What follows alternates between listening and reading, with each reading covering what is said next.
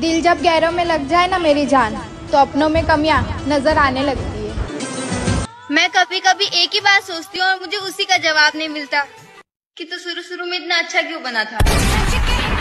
कि मोहब्बत तो अधूरी रह गई हमारी पर हम पूरे बर्बाद हो गए। किसी ऐसे के साथ रहो जो तुम्हारे होने पर खुदा का शुक्र अदा करे।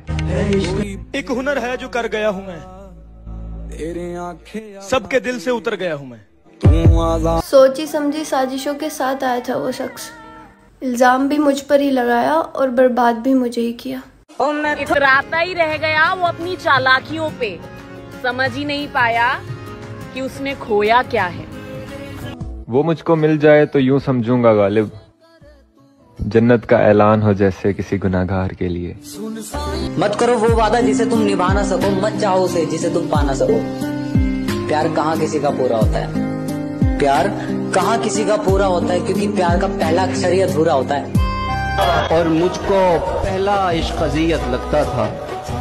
मुझको पहला इश्क अजियत लगता था। तुमने कैसे दो दो बार मोहब्बत की?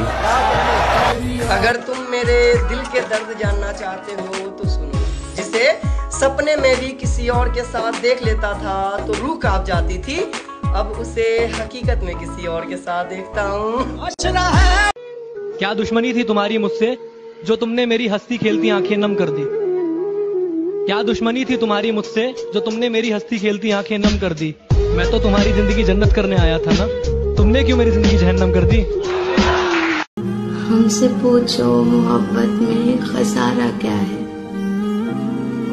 जान लेकर भी कोई पूछे, हारा क्या है? और एक उम्र कटी जिनकी वफादारी में वो कहते हैं, तुम तो पागल हो तुम्हारा क्या है?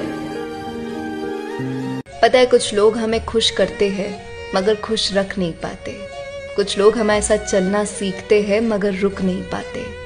कुछ लोगों से शुरुआत में ना सब कुछ मिल जाता है, मगर फिर मांगना पड़ता है। कुछ लोग असल में बदल जाते ये खुद को समझाना पड़ता है।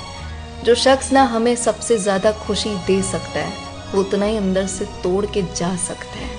असल में ना बात इतनी सी है कि नसीब में जो जितना लिखा है, उसका वक्त हमारे साथ उतना ही होता है।